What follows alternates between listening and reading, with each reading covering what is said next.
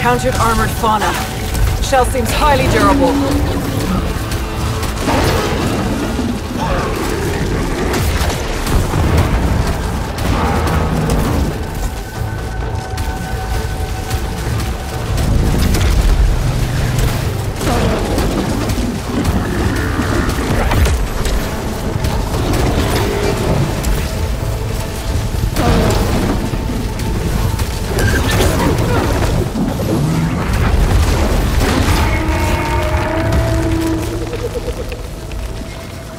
Considerable defense, but dispatched.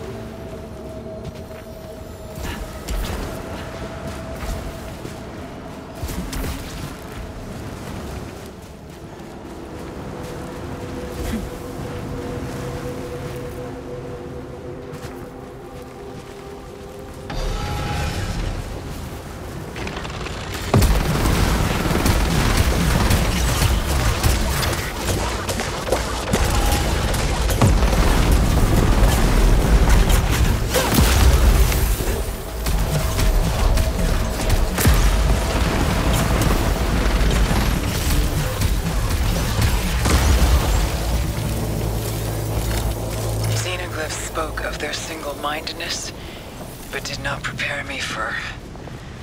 I barely managed to dispatch the sentients that attacked me. I've never encountered such hostility and madness. But that writing, it spoke of these severed brethren. I don't know enough to understand yet, but what conceivable force could have caused any intelligent life to become like this?